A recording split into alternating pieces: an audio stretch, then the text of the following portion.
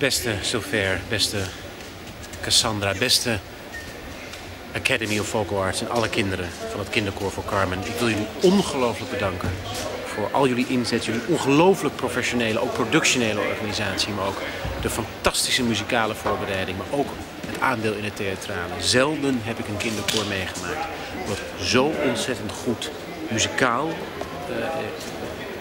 in orde is, maar ook theatraal zo ontzettend fijn acteert. Niet alleen in een ouverture waarin ze zwijgend spel moet hebben, maar ook de combinatie muziek en theater. Jullie hebben werkelijk van Carmen muziektheater weten te maken.